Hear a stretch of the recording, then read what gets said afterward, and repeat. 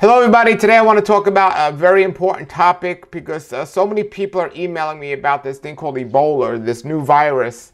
Uh, and I remember watching uh, Close Encounters of the uh, Third Kind, or whatever the name of that movie was, years ago. And they quarantined off a big area. And they had all these men in these spacesuits in that area saying nobody can go in that area because it's very contagious, as they were saying. Well, uh, some of the people I remember, and I hadn't seen a movie in a long time, got in that contagious area without these spacesuits. And nothing happened to them. Uh, yes, the media was just creating this, or somebody was creating this idea about this contagious disease. And it created a lot of fear amongst the people.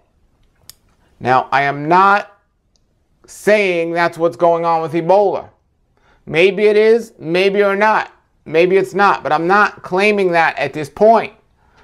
What I am claiming is we have to do uh, the best we can do to be as natural as possible in uh, fighting this illness or any illness if it is in fact a true illness.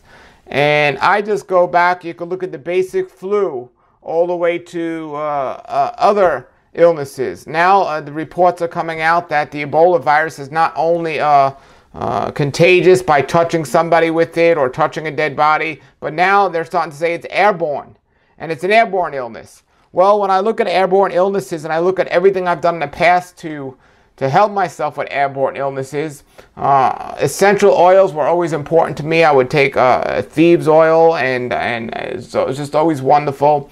Uh, there were oregano oil, and there's a bunch of other natural things you could do building your immune system up as much as possible is what I highly recommend, and that's what many of my teachings are all about. However, there's a big thing that our Creator gave us to protect us that many people don't realize, and uh, they, they throw that protection away every single day. That is a beard. It is already scientifically confirmed that there are many health benefits to having a beard from helping yourselves uh, against a, sun protection, from uh, keeping yourself warm in the winter uh, or cooler in the summer, from helping you with pollen and, and allergies uh, and asthma, and also uh, from thyroid issues and even hormonal issues and cancer. These benefits are coming out more and more about the benefit of having a beard or not destroying the beard. Well, I want to submit to you today, and I have not read any report about this on the internet or anywhere else. I have not seen any report about this anywhere, but I want to submit to you something.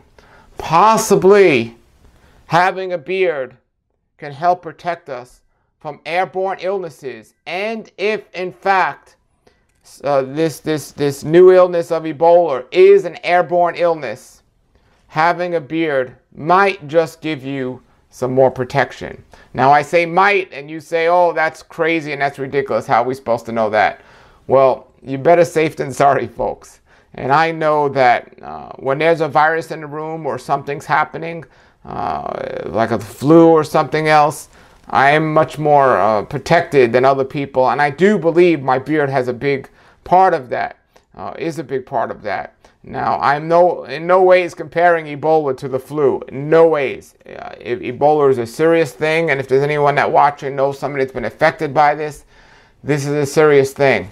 I'm not even going to get into the idea of well, it was made up by somebody else, or somebody created it, or or it's not real. No, I'm not getting into that in this video. But what I'm telling you in this video that very possibly a beard might be a natural way of protecting yourself in your nose are little hairs in your nose, not out of your nose, but in your nose are little hairs.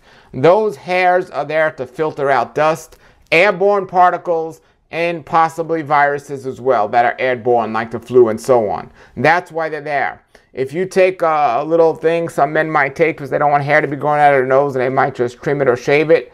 Well, if you take that and you take all the hair out of your, your nostrils, you are creating an environment where it'd be much more easier for you to suffer from, uh, again, allergies, pollen, and, and even airborne illnesses and viruses.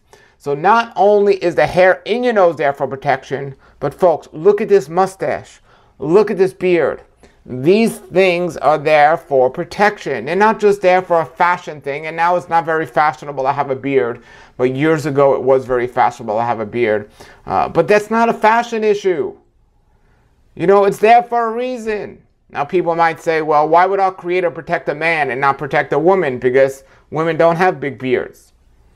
Folks, I'm not going to question why a Creator does anything. All I'm going to say is if you have the opportunity to have a big beard, men, uh, and you're worried about airborne viruses and illnesses, this might be another line of protection.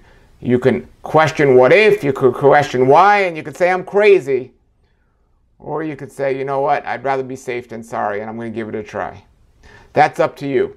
If you have any comments or questions, post them below the video. I have a strong feeling one day, I don't know if it's going to be sooner or later, but one day people, other people are going to start talking about the connection between Ebola viruses and airborne viruses and having a beard for protection. I have that strong feeling. And again, I haven't seen anything out there yet. Maybe there is, and I just haven't seen it, but I, I, I looked quite uh, diligently for it, and I haven't seen it. So, uh, grow beard, everybody. Beard on. And until then, have a great day.